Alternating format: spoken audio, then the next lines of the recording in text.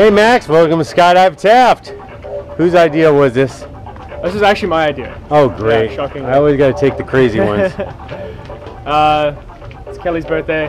Happy birthday, Kelly. Kelly's birthday. She's 21. I promised Mrs. Noah I wouldn't kill her, so we make it back. But All yeah, right. woo! Happy birthday. All right. Well, pretty soon we're going to get up and get out. Any famous last words? God no. All right. it's gonna be good. High five, and I'll see you up in there. Go, Mac. Sweet, let's do it. Ready for this? Yep. All right.